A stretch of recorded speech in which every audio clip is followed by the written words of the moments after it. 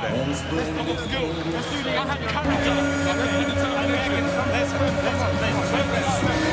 12 round fighter. Look at me. I'm a new breed of heavyweights. All them heavyweights, Mike Tyson, Sonny Liston, Jack Dempsey. Oh yeah, you don't throw combinations like Rocky Marciano. Because I ain't fucking 14 stone, that's why. I'm 18 stone, I'm heavy. It's What's good, YouTube? So as shown those clips, um, Anthony Joshua gets mentally broken by Alexander Usyk in a rematch. Um, he had AJ Sutton, uh, his home country Ukraine once. Then he had him uh, throwing the belts on, on the floor in the ring. Okay, then you had Usyk um, being confronted by Joshua. Joshua saying, "Ah, how did you win the fight? I had more character. I was a gangster. All right. If I never got posted bail, I never have made the boxing. Um, I'm a heavyweight. I don't throw a lot of punches." Like, I just don't get AJ, man. There's something wrong with this dude, bro. Like, he has a media constructed image it's finally been broken. And that's the reason why I play Sweet Caroline, because that's what AJ loves to come out to. And now he's completely dominated by Alexander Usyk and lost um, consecutively twice. That being said, though, I will say this: AJ did have his moments throughout this fight. And then um, a lot of good shots to the body, left hook, um, right uppercut, and um, right hook to the body. You know, he definitely hurt Usyk very badly. He landed some really good combinations in the eighth and the ninth round in the first two rounds. But that was really it. I can only give AJ about eight to four rounds or nine or nine to three for Alexander Usyk. Usyk was just dominating the fight, being a superior boxer, moving his head laterally, um, staying outside Anthony Joshua's range, um, using his jab. He just kept hitting Anthony Joshua so many right jabs. It was ridiculous. Um, landing the one, two, three, the sweeping left left hand that was giving him so much success in the um, first fight. Um, Usyk was just, you know, figuring Anthony Joshua out. Anthony Joshua was doing good, like I said, because he was, you know, throwing some combinations and he was actually moving his head. But as the fight progressed more and more, Alexander Usyk started to dominate the fight more. Then we seen like an eighth and ninth round where Usyk was badly hurt and to the body. And we see Anthony Joshua come forward and get aggressive. But after that, as usual, the stamina bug bit Anthony Joshua.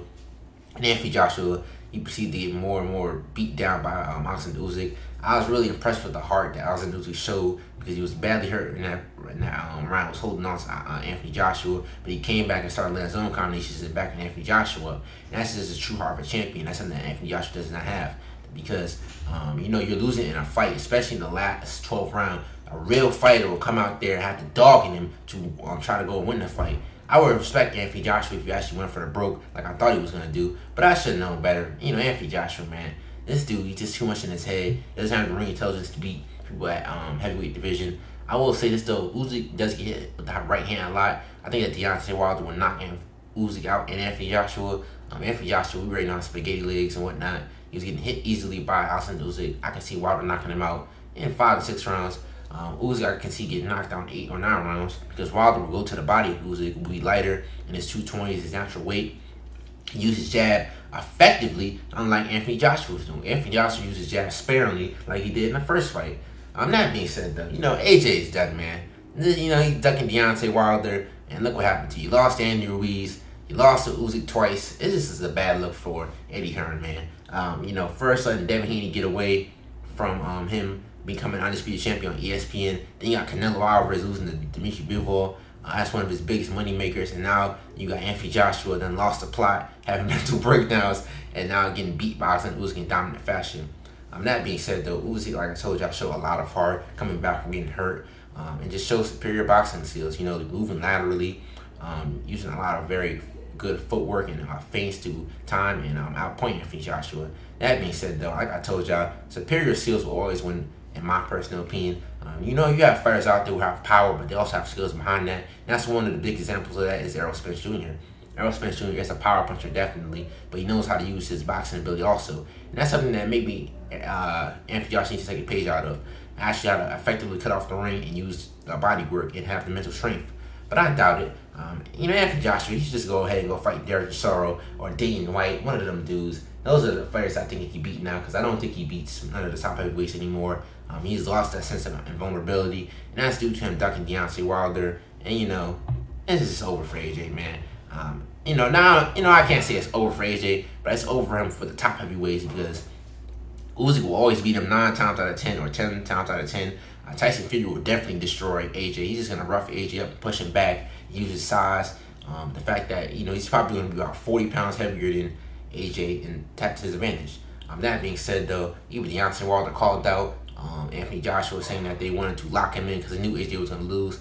And I think that's also true considering Eddie Hearn, he clout chased Deontay Wilder on the week of AJ's fight, but he also knew that AJ was um had a high possibility of losing this fight. I bet you Eddie Hearn is crying in the corner right now because he, his precious baby, Anthony Joshua, has lost like he was almost doing in, in the first fight with Austin Usyk.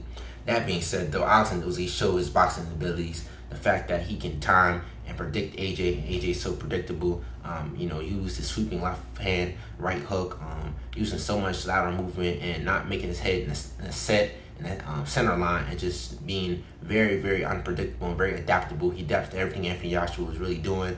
When Anthony Joshua was getting aggressive, he would come back from more combinations.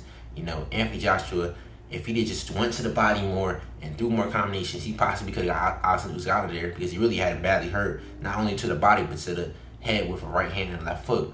But you know, it's it's AJ. I don't know. I, I hope AJ can come back against some domestic UK level guys, but I just think this dude's career is over when it comes to fighting the best and fighting the best. Wilder knocks him out. Tyson Fury stops him or knocks him, knocks him out. Knows he beats him. You know, that being said, though, this might be the end of AJ. He's done lost the plot, like UK like to say it. But this is Nasiem the Dream. Rocking Teddy and they say to sleep. I'll house y'all another one. Peace.